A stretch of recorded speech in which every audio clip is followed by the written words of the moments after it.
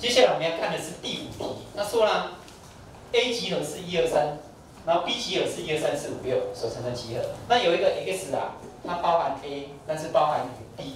那这样的 X 它的集合有几个可能性呢？好，那你因因为你要包含 A，所以你的元素 X 的元素一定有一二三，好，它一定会有一二三。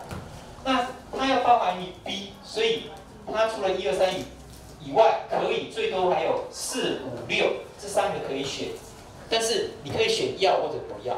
你可能有四这个元素，也可能没有，所以它有两个选择。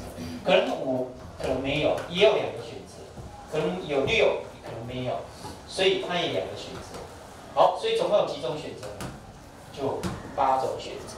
好，所以不同的这样的 x 就有八种。OK。